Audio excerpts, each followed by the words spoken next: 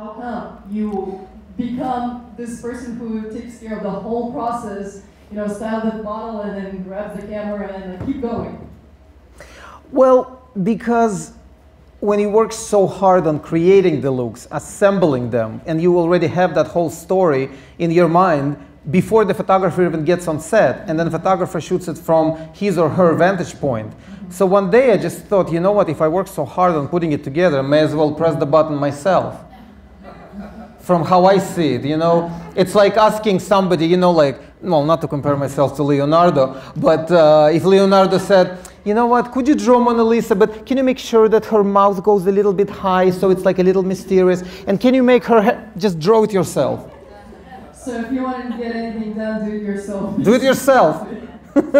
it doesn't mean I don't work with other photographers. I absolutely do. I, I totally do.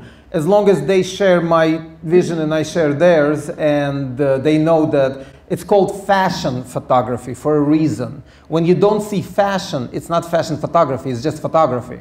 So when I get a picture and I don't see the dress, I don't see the jewelry, but I perfectly see fog or darkness or a piece of elbow, then that's not fashion photography. What am I going to tell designers? I, I can tell you had a trauma. it, it caused psychological harm. yeah, you work so hard and you don't see your work. But it's true. Would you like that?